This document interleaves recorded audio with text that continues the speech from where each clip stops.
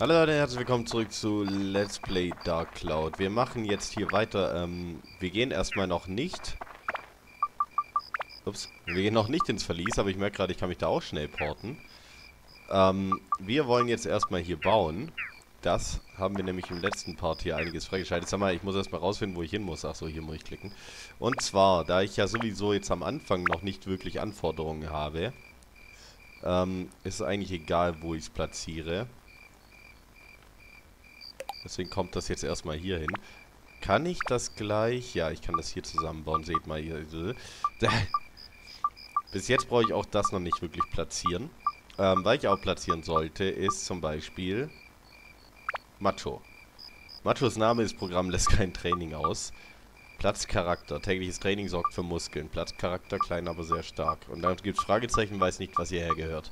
So, er ist garantiert nicht klein, er muss hier hin. So, ich könnte es auch hier versuchen, aber das ist ein Fehler. Okay, und dadurch haben wir diesen Charakter jetzt hier platziert. Ich werde mich jetzt selber kurz dahin porten. Ähm, den Charakter und sein Haus. Und da ist der Charakter, wir müssen nur nah genug ran. Hallo. Oh, Maro, ich hab dich so vermisst. Ein Tag, an dem ich dein schönes Lächeln nicht sehe, ist ein verlorener Tag. Hi. Falls du meinen großen Bruder siehst, sag nicht, dass wir uns gesehen haben, ja? Ich verlasse mich auf dich. Was? Wieso? Sei vorsichtig mit der Statue, dein Schwert wird sich blitzschnell abnutzen, wenn du normal kämpfst. Oh, tut mir leid, ich wollte nicht so plötzlich das Thema wechseln. Es ging um den Kampf. Das Duell ist eine Sache des Timings. Wenn du einen guten Kampf hinlegst, wirst du von den Erdfeen belohnt. Aber ob das stimmt, weiß ich nicht sicher. Im Kampf ist Timing alles. Falls nötig, zieh dich zurück, aber greife an, wenn du kannst. Echte Kämpfer können das. Hör dir das an. Wenn ich mir Claudes überschüssiges Fett ansehe, werde ich einfach nur wütend. Er versteht ja gar nicht, wie ein Mann auszusehen hat. Okay. Das Verlies wird schwerer nach der neunten Ebene. Letztens hätte ich fast Mist gebaut. Huch, du warst noch gar nicht dort. Tut mir leid, tut mir leid. Okay, und dann geht's wieder von vorne los. Okay, wie soll das Dorf aussehen? Der Kampf ist der wahre Sinn des Lebens für einen Mann. Diese Tatsache kennst du doch, oder? Okay. Das heißt, er wäre in der Nähe ein Übungsplatz oder so. Und wenn ich damit fertig bin, hm, da solltest du meinen Bruder fragen. Das ist garantiert der andere, der da wohnt. Wie soll dein neues Haus aussehen? Hör zu, vergiss nicht, mein Zimmer zu vergrößern. Und bitte lege die Hantel nach draußen. Okay, da muss eine Hantel hin. Und wieder dasselbe. So, und deswegen haben wir jetzt ein paar Hinweise schon mal bekommen. Was wir hier, wie wir das, wie wir das Haus ausbauen. Aber die Position ist noch nicht ganz safe. Auf jeden Fall soll wahrscheinlich in der Nähe ein Übungsplatz oder so. Kann ich da zoomen? Wahrscheinlich nicht. Da will ich aber gleich auch noch rein. Egal, ähm, erstmal ist hier jetzt Platz für die Hantel. Und hier Platz für ein Zimmer. Da, dadurch soll das Zimmer vergrößert werden. Dadurch wird dann auch, ähm, bin ich dann auch in der Lage, hier mehr zu erforschen. Oh, es wird gerade Tag, okay. Abenteuertag 2 morgen. Ähm, ja, es konstant wird der Tag verändert, aber ich glaube, das hatte keine Auswirkungen. So, da wir das gebaut haben, bekommen wir schon mal eine kleine Truhe hier draußen und bekommen da ein Brot geschenkt. Und da ist noch eine Truhe, ein köstliches Wasser. Sehr gut. Und da ist eine Leiter, aber ich glaube, die ist nicht benutzbar. Sieht nicht so aus. Und dann können wir hier rein. Ich glaube, Macho hat sich jetzt auch rein teleportiert. So, und das hier ist das Haus von ihm. Hier ist eine Hantel. Okay. Hier ist er selber. Hi. Ja, okay. Er sagt dasselbe, wie wenn er draußen ist. Bis jetzt können wir aber noch nicht viel machen. Die Tür, da bringt noch nichts. Da ist wahrscheinlich sein Zimmer. Hier ist ein Schrank. Hier ist bis jetzt also noch nichts. Aber dadurch, dass wir das Haus platziert haben, sind schon zwei kleine Truhen aufgetaucht. Und die konnten wir ausnehmen. Das Einzige, was ihn sonst interessiert, ist, dass halt, äh, ja, die Handel draußen liegt zum Beispiel. Aber auf jeden Fall, dass äh, in der Nähe ein Übungsplatz, nehme ich an, ist. Und ich speichere jetzt hier nochmal kurz, bevor ich da reingehe. Aber das macht keinen Unterschied. Man kann ja eh nicht wirklich sterben. Ich glaube, man kann sich einiges verbauen, wenn man nicht aufpasst. Man sollte also vielleicht ab und zu laden. Aber ich gehe jetzt einfach direkt ins Verlies und hoffe, dass ich meine Waffe nicht schrotte. Denn das wäre das Einzige, was mir gerade einfällt, was kritisch wäre. Geld habe ich ja noch nicht viel. Das macht noch nichts aus. Die 10 Gold oder so, die ich habe. Und Höhle 1 ist abgeschlossen und hier steht was von 28. Ich bin nicht 28 Mal gestorben, also weiß ich leider nicht, was das Symbol bedeutet. Vielleicht wie viele Gegner ich gekillt habe, ich habe keine Ahnung. Aber jetzt sind wir in Ebene 2 und haben eine neue Waffe, wie ihr seht. Oh, und es passiert gleich wieder was. Eine Katze. Mit einer Glocke und die rennt weg. Die rennt offensichtlich in die nächste Ebene. Denn das hier scheint der Ausgang zu sein. Da muss ich dann... Da ist ein großes Schlüsselloch. Da muss ich dann, ja, ziemlich safe wieder dieses Ding platzieren. Da hinten ist sogar ein Gegner. Aber das hat... Das, da weiß ich nicht genau, wo der ist. So, hier sind Sprinter. Oh, Two-Hit. Okay, das ist schon mal viel mehr Damage. Die Waffe lohnt sich jedenfalls. Muss nur aufpassen, dass sie nicht hier geht. Könnte aber auch daran liegen, dass ich das richtige Element für diesen Gegner habe. Ich weiß gar nicht, warum ich mich hier genau umgucken will. Wenn die Karte eh anzeigt, dass da nichts versteckt ist.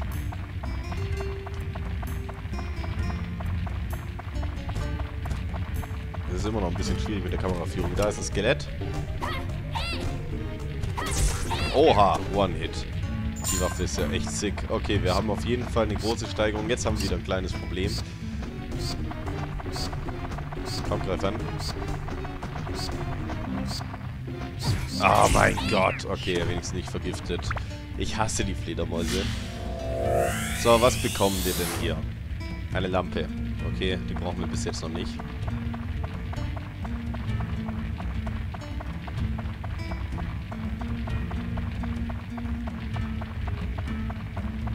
So, und hier hat schon mal einiges. Da sind schon mal drei so Atlas-Teile. Und zwei Truhen, wenn ich das gerade richtig gesehen habe. Eine Leiter, okay. Ja, zwei Truhen.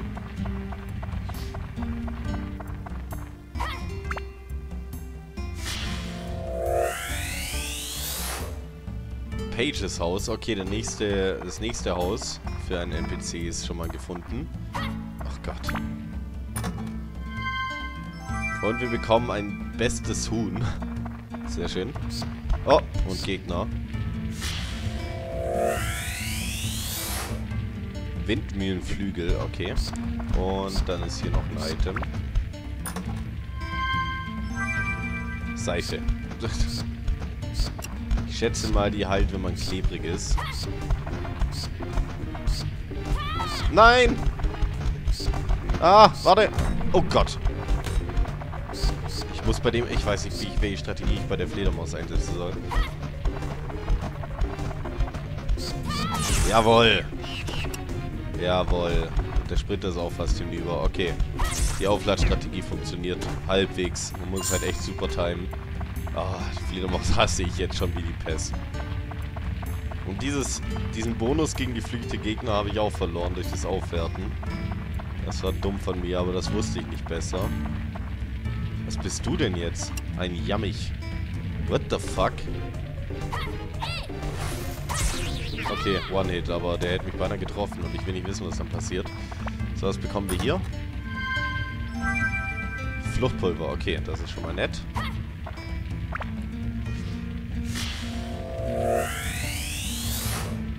Und einen Anbau. Okay, das könnte auch ein Zimmer sein, keine Ahnung. Aber hier brauche ich wahrscheinlich wieder WD-40. Denn ich habe keine Ahnung, was ich hier sonst einsetzen sollte. Beendet klebrig Zustände, ja. Und diese ewig lange Animation ist extra dazu da, dass man nicht wirklich alles durchprobiert, nur die Dinge, die halbwegs Sinn machen. Und nichts davon macht auch nur halbwegs Sinn. Okay. Jetzt haben wir noch einen Weg vor uns. Vorerst. Vielleicht kommen wir durch zwei Ebenen, wer weiß. Die neue Waffe war auf jeden Fall sehr gut für mich. Die Gegner sind noch dieselben, aber die Waffe ist erheblich besser. Ich muss noch aufpassen, dass die nicht kaputt geht. Aber ich werde ja gewarnt zum Glück. Ich bekomme langsam schon wieder Durst, das ist auch super. Ich habe nämlich viel zu wenig zu trinken in diesem Spiel. Beziehungsweise ich brauche viel zu viel zu trinken. Ich kann es ja noch nicht mal irgendwo herbekommen, außer der Bürgermeister schenkt es mir halt.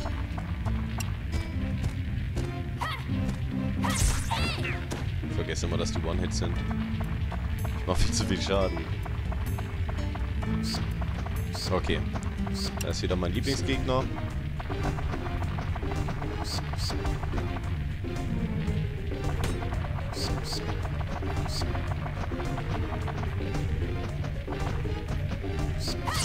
Okay.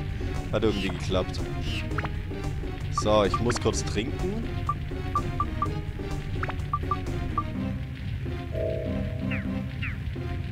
Das Vieh bleibt in der Luft schweben.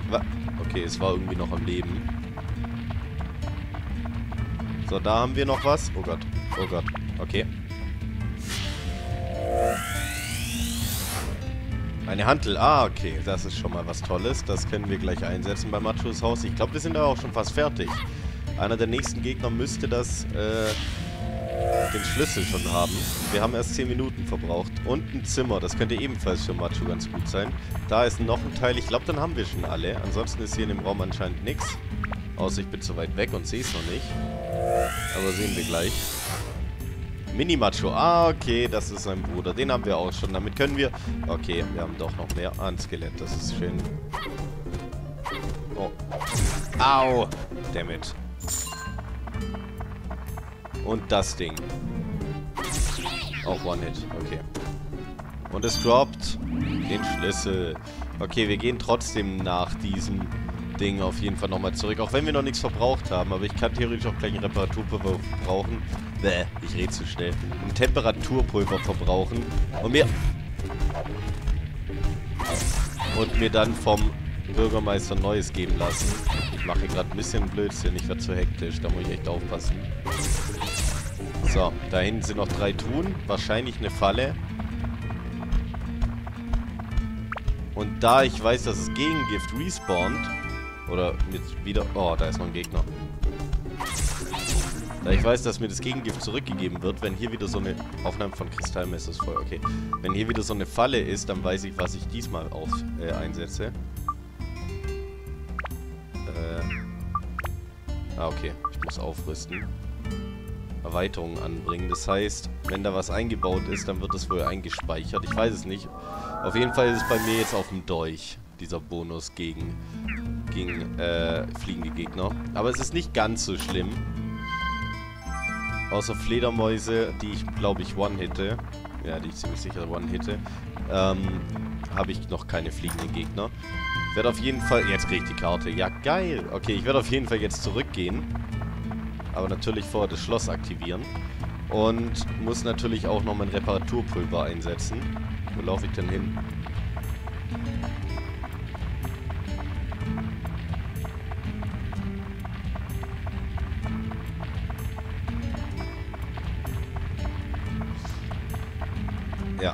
Dann...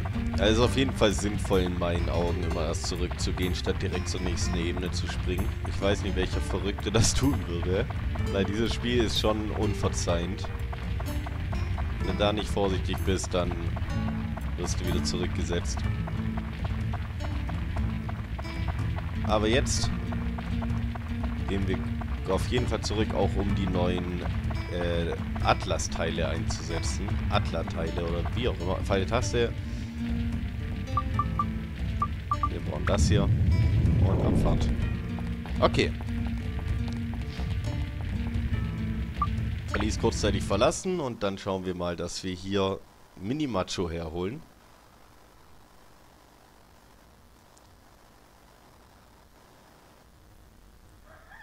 Ist ein bisschen neblig, es scheint morgens zu sein. Ich teleportiere mich erstmal hin. Ich meine, das macht keinen Sinn, weil ich jetzt sowieso wieder in der Luft bin. So, wir geben dir erstmal deinen Bruder. Obwohl er klein ist, ist er der große Bruder. So, dann kriegst du wahrscheinlich den Anbau. Ja. Der Zimmer, das Zimmer hier ist nämlich ein Lagerraum. Und die Hantel. So, und dann fängt schon mal ganz gut an mit Macho. Und ich porte mich hier gleich mal hin. Da sieht man schon sein Zimmer, das ist dran gebaut. Und gibt es hier irgendwas Neues? Also die Hantel ist jetzt halt da. Und ich weiß nicht, ob die schon, ob die in der Wohnung sind, aber auf jeden Fall muss ich mit Mini-Macho reden, um herauszufinden, was der will. Das ist Komacho. Danke, Maro. Und was genau ist an diesem Feiertag passiert? Ich weiß, dass ein Licht vom Himmel kam. Und dass die Häuser verschwanden. Und danach erinnere ich mich an nichts mehr. Hi. Hast du meinen kleinen Bruder Macho gesehen? Ja, natürlich. Einer der coolsten Gegenstände, die es gibt, ist die Bombe. Man kann alle Monster in seiner Nähe einfach in die Luft sprengen. Rums, das fühlt sich gut an. Ich habe gehört, dass etwas Gutes passiert, wenn man die Erholungsmedizin nie benutzt, aber es kam nichts. Wer hat dieses Gerücht in die Welt gesetzt? Wie läuft der Kampf in der Höhle? Komm bei mir vorbei, wenn du Probleme hast. Ah, ich sag dir was. Falls du jemals im Verlies stecken bleibst und nicht weiterkommst, kehre an die Oberfläche zurück und lauf herum. Dude, dort wirst du oft Gegenstände erhalten, die deine Abwehr verstärken. Mit anderen Worten, wenn deine Kraft an der Oberfläche nicht sorgfältig aufrüstest, ist es weiter unten gefährlich. Ich habe etwas andere Ansichten über das Kämpfen als mein Bruder. Zum Kämpfen braucht man Köpfchen. Das Kämpfen fällt dir viel leichter, wenn du das meiste aus den Gegenständen... Aus, wenn, du, wenn du das meiste aus den Gegenständen im Verlies machst. Mein Bruder sagt, das stimmt nicht. Ich sag dir das Wichtige ist, um seine Waffen stärker zu machen, sollte man alle Monster mit ihnen töten. Das würde man meinen, aber das ist ein großer Fehler. Wenn man ein Monsterstamm mit einer Waffe mit einem Gegenstand tötet, verwandelt es sich in eine Erweiterung. Aha. Und besser noch, es verwandelt sich in eine Erweiterung mit dem Attribut des Schwachpunktes des Monsters. Um eine Waffe zu verbessern, musst du zwar die Waffe selbst benutzen, aber um die Kapazität wirksam zu verbessern, solltest du manchmal die Gegenstände benutzen und immer alle Erweiterungen haben, wenn du aufrüstest. Na, und? Nützlich, was? Okay. Ähm, das heißt... Ach Gott. Äh, wie soll das Dorf aussehen? Ich hätte das Haus gerne irgendwo, wo ich gut trainieren kann. Okay, Selbstproblem. Das heißt, man soll diese Flech äh, diese Dinger da einsetzen und füllen und dann bringt das mehr, wenn man es upgradet. Gott, das ist so verwirrend alles. Ich bin mir nicht mehr sicher, ob das stimmt, weil ich gerade überlege. Ähm, als nächstes, und wenn ich damit fertig bin, ich gebe dir etwas, aber es ist geheim. Hier ein Tipp, es ist härter als Stein. Okay. Ähm, wie soll ein neues Haus aussehen? Vergiss nicht den Zaun und die Lampe. Wir, hätten den, wir hatten den ganzen Kram wie alle anständigen Leute. Du weißt schon. Okay, Zaun und Lampe habe ich sogar. Aber was zum Trainieren habe ich noch nicht. Und hier ist jetzt das andere Zimmer. Und da sieht man einfach nur einen Boxsack und ein Bett bisher. Jetzt lass mich hier kurz raus. Ich platziere euch den Scheiß. Aber ich weiß immer noch nicht, an welche Position euer Haus soll. Und ich glaube, ich weiß nicht, die Straße könnte auch einfach gar keinen Nutzen haben. Irgendwann hat es, glaube ich, einen Nutzen. Ich setze die mal hier hin. So. Und gehe erstmal kurz zum Zusammenbaum. Zusammenbaum. Ähm, gebt ihr euch eine Lampe. Platz ist nachts praktisch. Lampe. Und Zaun umzäunt Haus. Platz umgibt ein Haus. Zack, Ereignis. So, dann muss ich jetzt da rein. Aber ich habe auch noch Pages Haus noch nicht gesetzt. Haus von Angler Dyke und Tochter Page. Das andere Haus der Macho-Brüder. Aber Page existiert auch noch nicht. Was habe ich jetzt gemacht? Das wollte ich nicht. Ich wollte es ich wollte es drehen, aber... Ah, wenn ich es falsch drehe, dann sehe ich nichts. Oder wenn ich es hier hinsetze. Okay. Wir setzen es kurz dahin. Und gehen wieder zurück. So, hier ist jetzt ein Ereignis. Und das ist eine Cutscene. Mehr oder weniger. Juhu, Maro, du hast es geschafft. Toll, wir haben unser Haus wieder. Hier, das ist für dich. Behalte es. Was ist das denn? Steinbrecher? Okay. Ist wahrscheinlich für eine Waffe. Hey, Macho. Der passt kaum durch die Türen. Hey, das gehört mir. Hey, Bruderherz. Was soll das denn werden? Das sage ich dir jedes Mal. Deins ist meins, meins ist meins. So ist das zwischen einem großen Bruder und einem kleinen Bruder. Ah, das halte ich nicht mehr aus. Hey Bruder, wir regeln das in einem Kampf. Ah, auf jeden Fall. Kloppen die sich jetzt da drin.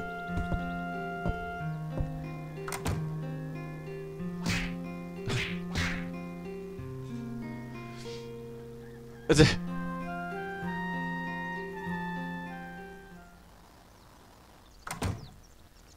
Typ geht einfach wieder raus. Okay, ihr seht jetzt auch den Zaun und irgendwo... Oh. Und irgendwo wird wohl auch eine Lampe sein. Vielleicht aber auch drin, wer weiß. Ah, nee, die ist wahrscheinlich an der Tür hier gerade. Was passiert ist, wenn ich wieder reingehe? Seid ihr wieder da? Ich habe immer noch keine Ahnung, was ich in eurer Nähe platzieren soll. Ich meine, außer einem Übungsplatz oder so. Hallo, wie läuft der Kampf in der Höhle? Komm bei mir vorbei, wenn du Probleme hast. Ah, ich sag dir was. Bla, bla, bla, bla, bla, bla. Okay. Verdammt, noch eins. Also der braucht immer noch was zum Trainieren, das ist wichtig. Und ich weiß nicht, wo Macho rumspringt.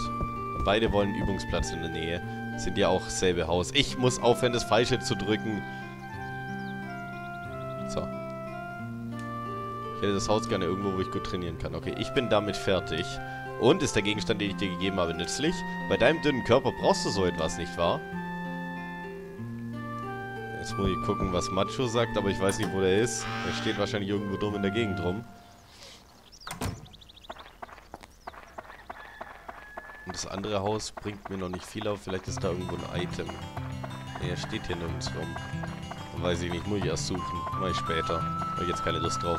Ich will jetzt noch zwei Dinge machen. Und zwar erstens mir dieses Haus angucken. da, wo ich halt noch nichts anfangen kann, aber das ist das Haus von Page und dem Angler. Hier ist ein Tierbann drin.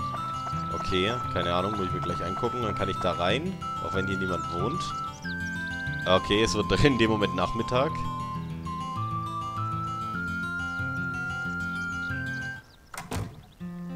So, was haben wir hier? Da kommt wohl noch ein Zimmer hin oder so. Hier gibt's nichts. Ich glaube auch so gibt es normalerweise nicht viel Stuff. Hier oben, ah, okay. Ein lila Teddybär. Okay, dann platzieren wir jetzt einfach noch kurz Straßen, Flüsse, Bäume und so ein Scheiß, in der Hoffnung, dass dadurch irgendwas passiert. Ich glaube nicht.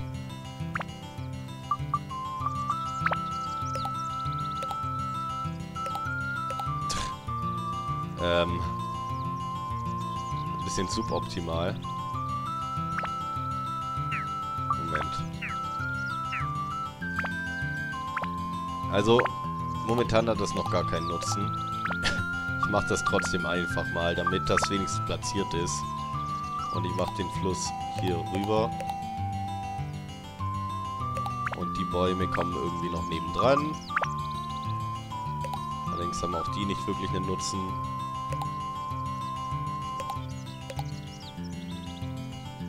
So. Jetzt muss ich aber ganz schnell rausfinden, was ich drücken muss. Jetzt muss ich aber ganz schnell zum äh, Bürgermeister und meine Sachen wieder auffüllen lassen. Das eigentlich nur das Reparaturpulver ist. Theoretisch kann ich mir das ja unendlich oft von ihm geben lassen. Während ich hier bin, kann ich das ja immer wieder füllen. Ich sehe gerade, das ist gar nicht so ein hohes Ding. 56 von 56 sieht nach einem kniffligen Auftrag aus. Ich habe deine Tasche wieder für dich aufgefüllt. Sei vorsichtig, ja? Okay, dann fülle ich das hier auch noch gleich auf. So. Gib mir gleich noch eins.